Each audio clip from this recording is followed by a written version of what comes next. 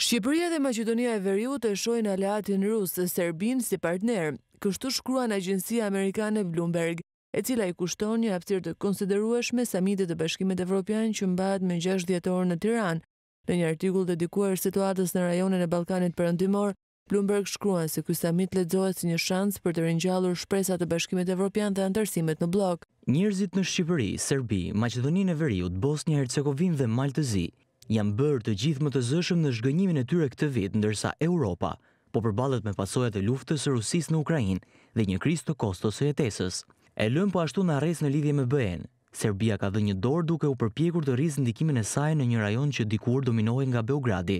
Përpara shpërbërjes së përgjakshme të Jugosllavisë, presidenti serb Aleksandër Vuçiç, që po xhonglon mes lidhjeve të ngushta me Rusinë dhe dëshirës për t'u bashkuar me BE-në, ishte i pari që dërgoi vaksinat anti-Covid në Maqedoninë e Veriut dy vjet më parë dhe qeveria e tij ndryshoi ligjet në tetor në mënyrë që të mund të fillonte eksportin e gazit natyror te fqinji i saj jugor. Duke vënë theksin tek influenca e Rusisë dhe Kinës, Bloomberg analizon rolin e Aleksandër Vuçiç dhe iniciativës së tij për Ballkanin e Hapur duke e konsideruar si një mjet presioni ndaj Bashkimit Evropian.